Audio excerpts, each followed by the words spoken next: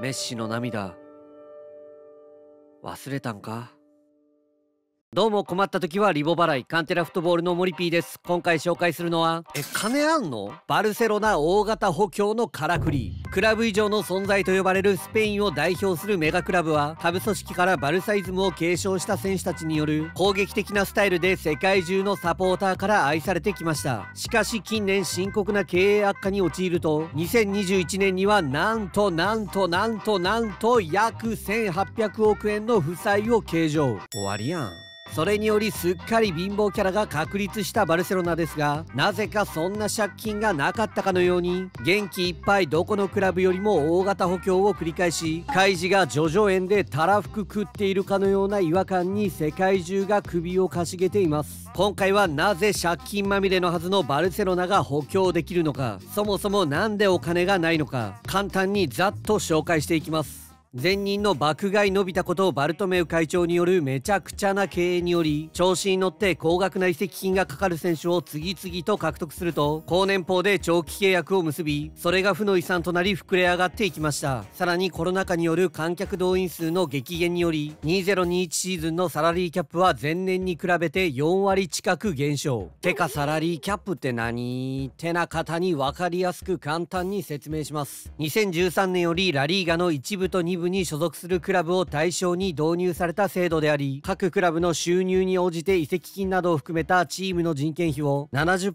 程度に制限するもの。なんでそんなことすんの？って話ですが補強の制限をすることによりチーム間の戦力を近づけることでプレミアリーグみたいに面白いリーグ作ってラリーガを盛り上げようやという魂胆があります。そして少しややこしいんですがコロナウイルスのパンデミックによって各クラブが一気に損失を計上したことにより4分の1条項というものが追加。削減したチーム費用の25%以下の額で選手を獲得すればその選手の登録は認められるというもの。つまり4ユーロを節約すれば1ユーロだけ使用可能というルールになります。このサラリーキャップ制度により記憶に新しいメッシ対談騒動が起こりました。2021年夏大スターメッシとの再契約が控えていたバルセロナですが2017年に大型契約を結んでいたメッシの年俸は4年総額705億円。年俸なら175億円。時給201万円という馬鹿げた数字。しかしコロナによる収入激減のため大赤字を叩き出していたバルセロナはサラリーキャップがパツパツのためメッシに50%の年俸カットを泣く泣く受け入れてもらうもそれでも余裕でサラリーキャップをオーバー。結局メッシの登録はラリーガに認められずメッシは涙を見せながらパリ・サンジェルマンにフリーで移籍しました。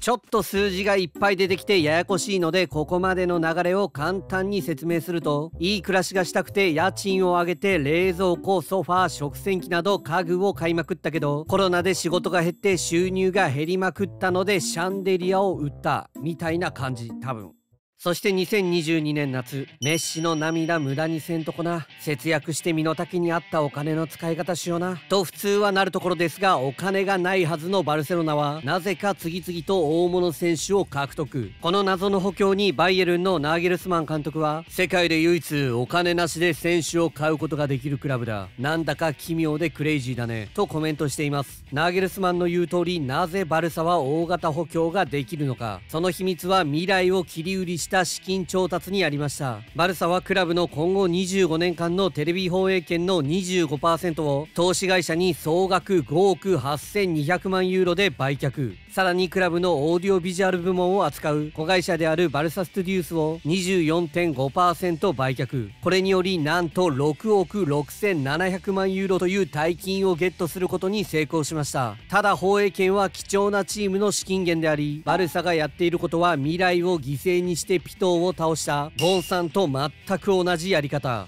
当然この半ば強引な資金調達には批判の声が上がっておりその批判に対してラポルタ会長は私たちは25年間のテレビ放映権売却で6億6700万ユーロを手にした。そのことが理解できるかい？私たちはいい仕事を実現しているということだ。もちろんやらないに越したことはなかったがしかし必要なことだったしフットボールは待ってなんかくれないんだ。バルサのファンは勝利することに慣れ親しんでおり私たちは他クラブより厳しい要求を突きつけられている。このクラブには4億人のファンがおり彼らの厳しい要求に応えなくてはいけないんだ。私たちが競争するのはピッチ上であり誰がより良い仕事を実現したのかを見てみようじゃないか。と報道陣を通じてコメントしています。さらにバルサは補強資金を捻出するためにデヨングを半ば強引に売りに出しておりマンチェスターユナイテッドとクラブ間での合意がなされるも本人は断固拒否。デヨングはバルサ市内の高級住宅街でカンプノーにも近い地区に新居を購入したばかりということもありクラブから売却もしくは大幅な減俸という理不尽な二択を迫られながらも残留の意思を固く示し続けています。ただどうしてもお金が欲しいバルサはチェルシーとデヨング移籍に向けた交渉を進めている模様で獲得を狙うアスピリクエタやマルコス・アロンソを含めて交渉を進めていると報道されています。デヨングかわいそう。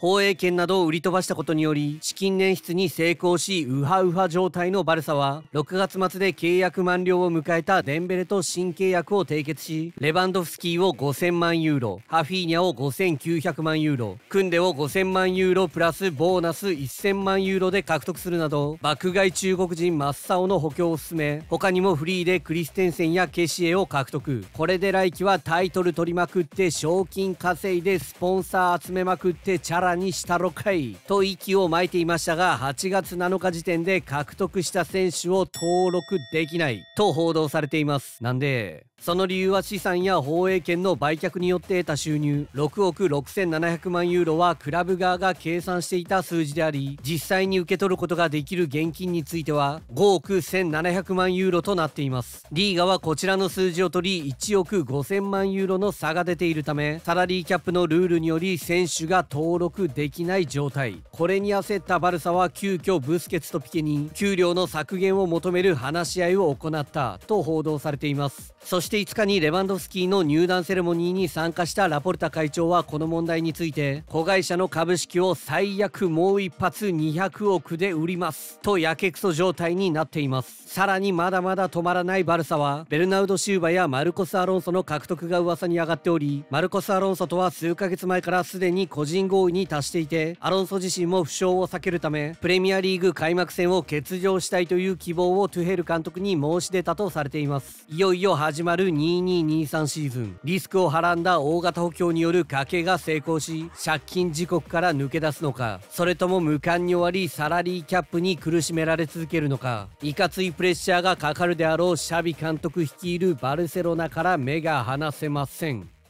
というわけでいかがだったでしょうか？バルセロナどこに金あんのという動画だったんですけども皆さんはどう思いますか？いやなんかこう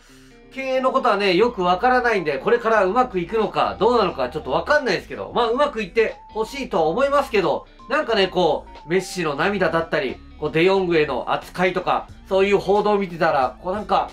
気持ちいいものではないですよね。皆さんは本当にどう思いますか？というか、バルサのファンの方は、これどう思ってんのかめちゃくちゃ気になる。こういけいけ補強しろ補強しろと思ってんのか、ちょっとやりすぎじゃない？みたいな。未来怖いよというか、てか、カンテラの、